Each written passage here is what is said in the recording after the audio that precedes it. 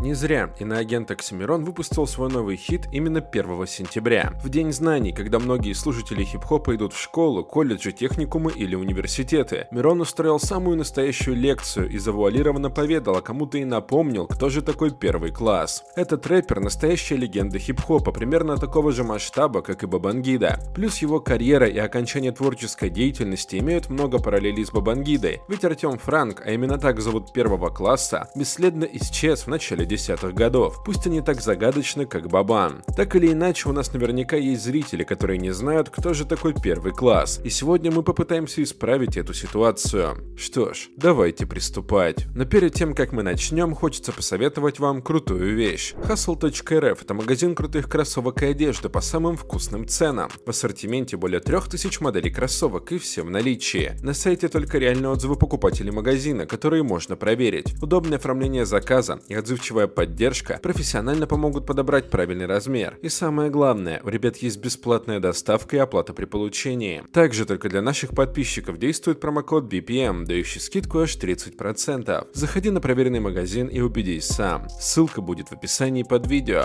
Ну а мы начинаем. Поехали!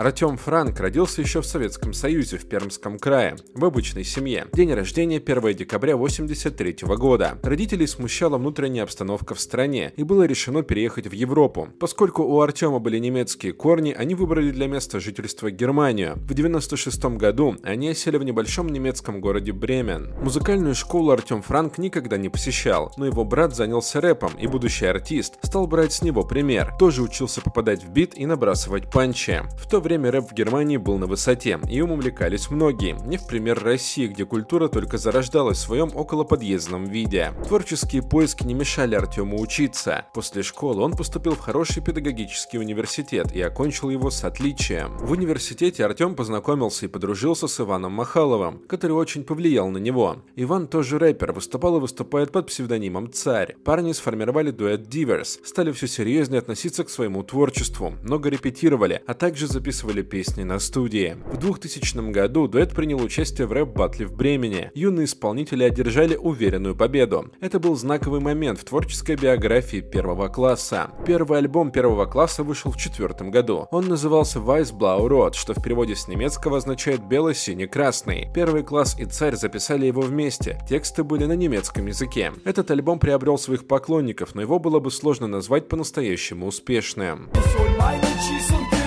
Ich rap für die Bitches, der Beste Fitness, ich komm allein und Все-таки выступая на немецком языке, было трудно выиграть конкуренцию с немецкими рэперами, которые читали ничуть не менее агрессивно и круто, чем первый класс. Возможно, именно по этой причине, а также по причине наличия серьезного комьюнити русских рэперов в Германии, Артема начал делать хип-хоп на родном языке. В четвертом году он выпустил альбом на русском. Этот релиз стал более известным, фанаты стали появляться в России, Германии и других странах, а песня «Как Гитлер» разлетелась по интернету молниеносно и сделала Артема знаменитым среди всех любителей рэпа. Да!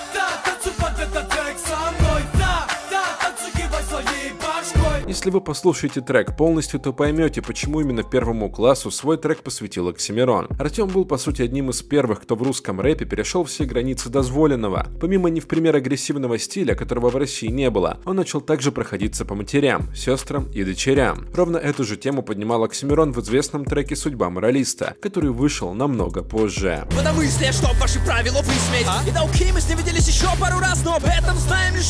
Первый класс сделал жесткий и бескомпромиссный рэп, особенно не думая о своей популярности. Он не строил из себя образ загадочного артиста и всегда заявлял прямо о своих чувствах и делах. А сейчас как-то туда придешь, запиш, запиш, записал домой, обработал все. Как-то даже мне свои иногда, иногда даже свои треки записываю, да, возьму, сделаю бит, запишу текст, дома слушаю, вроде бы все получилось, и дома послушаю, он как-то меня вроде бы, вроде бы так себе, знаешь, так получился, а кенты говорят все заебись. Кстати, именно этот отрывок звучал в новом треке Яновича. Возьму, сделаю бит, запишу текст, записал домой, обработал все. Но давайте пойдем далее. В седьмом году вышел второй соло-альбом, и альбом, который артист подготовил снова с царем. Их название далеко за пределами какой-либо цензуры, поэтому произносить их мы не будем. При желании вы сами можете посмотреть дискографию артиста. Куда важнее эволюция творчества первого класса. На новых проектах тексты были про половые отношения, нетрадиционную ориентацию, оскорбительные темы про женщин, пристрастие к алкоголю и другое. Первый наш альбом «Русский твой ума» Не забывайте нас, не забывай меня Вот это сам для вас. В восьмом году появился клип первого класса New Russian Standard. На данный момент это единственный клип в творческой биографии музыканта. В нем вы можете заметить знакомые лица, например, Диму Шока. Как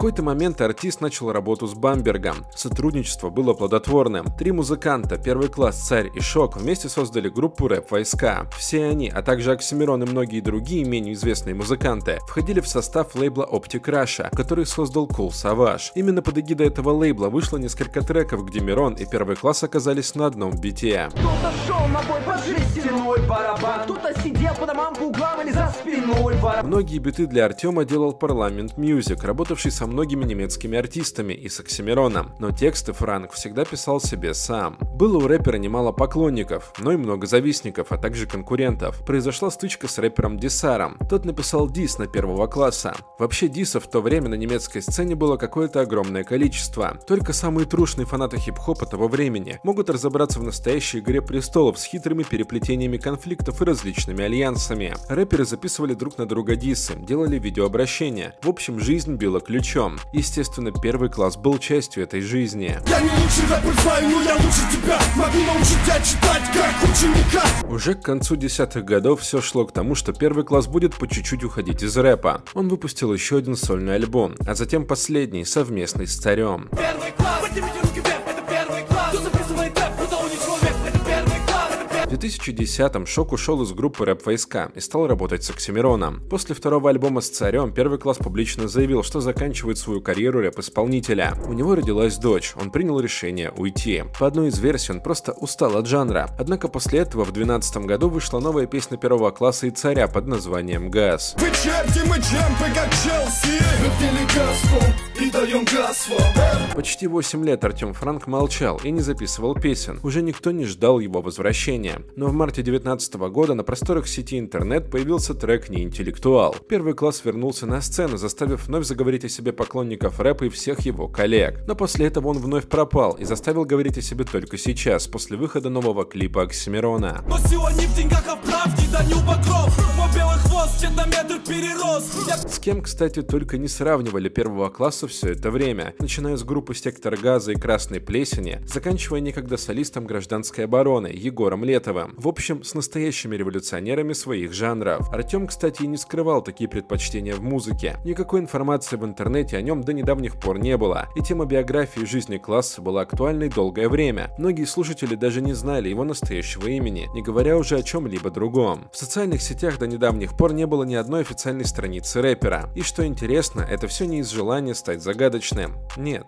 артист просто был таким сам по себе. Он думал в первую очередь о своей музыке, которая в какой-то момент ему просто надоела. И он без всяких проблем смог отказаться от большого успеха, который, возможно, в этой сфере ему не был уж так и необходим. Закончить этот ролик хотелось бы цитатой Оксимирона. Первый класс косноязычный, местами с дико тупыми текстами, непонятный и непризнанный, но при всем этом на грани гениальности. Если в русском рэпе и есть кто-то с таким же статусом, который был когда-то у гражданской обороны, то есть тот, кого никто не покупает, тусовка за своего не принимает или даже не знает, но при этом в каждом городе есть кто-то, кто знает тексты наизусть, то это безусловно первый класс. Ему реально, а не ради имиджа, на все и на всех все равно, а за это безусловный респект. Я зачитал мой а ты упал и больше не встал Я не могу понять А на сегодня у нас все. Как вы относитесь к творчеству первого класса? Пишите свое мнение в комментарии, ставьте лайки и подписывайтесь на канал. Всем пока!